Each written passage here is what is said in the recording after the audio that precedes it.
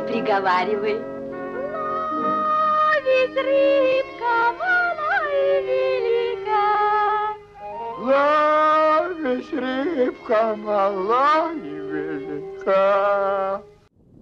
Біля полонки посеред ставка чи річки у лютий мороз і у завірюху можна побачити любителів зимової рибалки. Один з них Сергій, озброївшись вудочками, приманками, зручним стільцем та гарячим чаєм, він вийшов за уловом.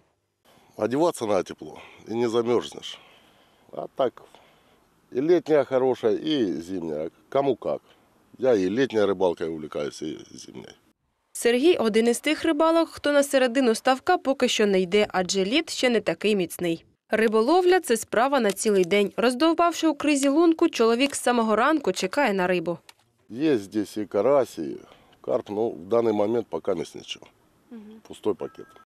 А ось на інших ставках, краснорміському четвертому та п'ятому, рибалки не бояться тонкого льоду і сидять з вудками прямо посеред водойми. Ми до них йти не наважились, адже робити це ще занадто рано. Стійких морозів ще не було, тож і впевнитися у товщі льоду неможливо.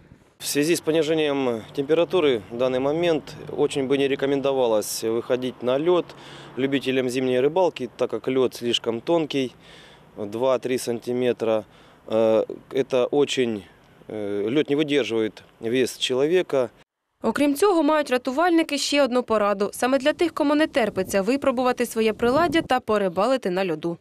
Если вышли на лед, никогда не надо э, садиться рядом, чтобы у вас хотя бы между вами было 3-4 метра, потому как лед тонкий, но я бы не рекомендовал выход в данный момент.